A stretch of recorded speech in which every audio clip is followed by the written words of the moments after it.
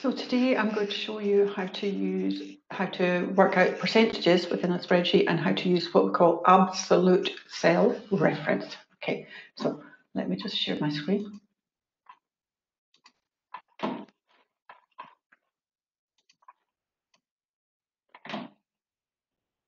And we shall go into a ready-made Excel spreadsheet that I have here. So we can see Red Park experts. Okay, so what do we have? So this is a spreadsheet all about sales figures, if you like. So Kay Milne, one of the sales people, the quarter one sales, quarter two sales, quarter three sales, quarter four sales. Total sales for Kay Milne, we can see there's a sum being worked out, a formula being worked out, total four quarters. And this is what we have here. Okay. The average of K Milne's sales over the year what we have here. So the average over the four quarters is 78,000 and you see up here it equals average. Okay, so remember in the formula, auto sum, we've got the most commonly used ones, sum, average, count numbers, the number of times it's um, appearing, max, min, okay, so maximum, minimum. So average, maximum, minimum. So we've got here equals average and then we've got equals max. So the maximum sales that Kay Milne did over the quarter is 81,697, the largest amount. And the smallest, the minimum amount, okay, equals min B5, B5 to E5. Okay, so over the four quarters, this is the smallest amount. And Excel, Excel will calculate this for you automatically without you having to go in and look at the figures and work it out yourself. Now, if we want to do a percentage, um, of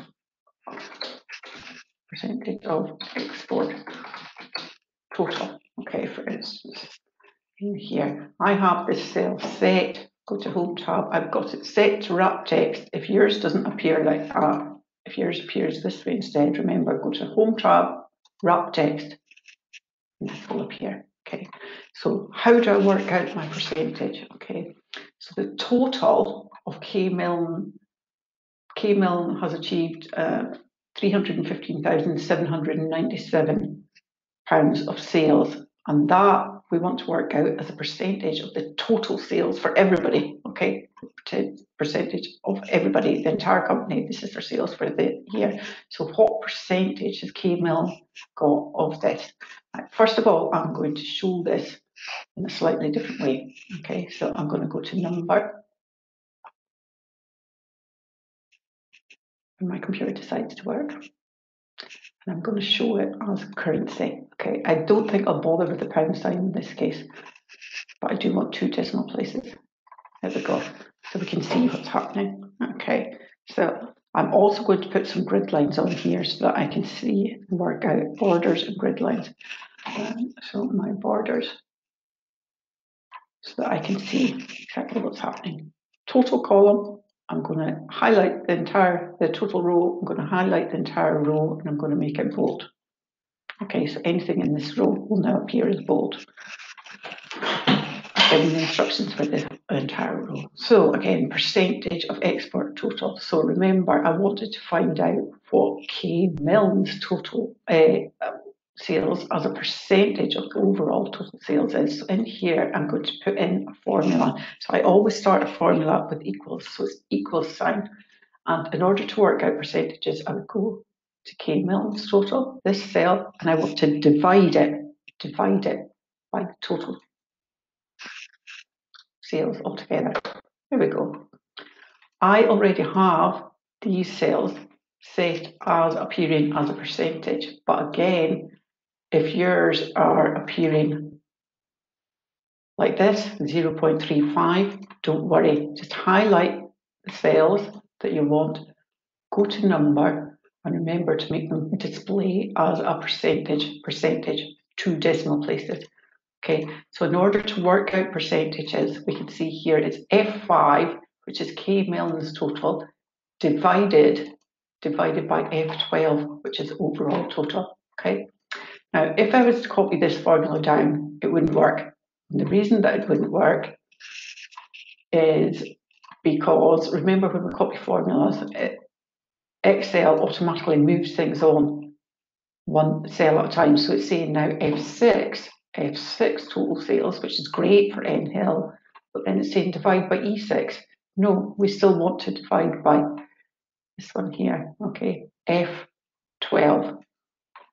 And it's telling me F13, it automatically moves them on, and there's nothing, uh, I don't want that. So what I need to do, get rid of that just now, so we shall delete. In here, I want what's called an absolute cell reference. An absolute means that it's absolute, the address never changes. In order to do that, I sit at the start of F12, this is F12, and I put my dollar sign in. Dollar for F, and F is the column, and then dollar for the row address. There we go. I don't need a dollar sign in front of the two. Okay, it's just in front of the the column number and in front of the cell number. Okay, there we go. Now, when I copy down my total percentages of total sales has worked out. Okay, it's worked out. We can see F and 12 absolute, F and 12 absolute, F 12 absolute. Okay. A quick way of checking that your percentages add up could be you might want to do a sum in here, quick sum, and that should add up to 100%. Yeah, it does. So I can take that out again.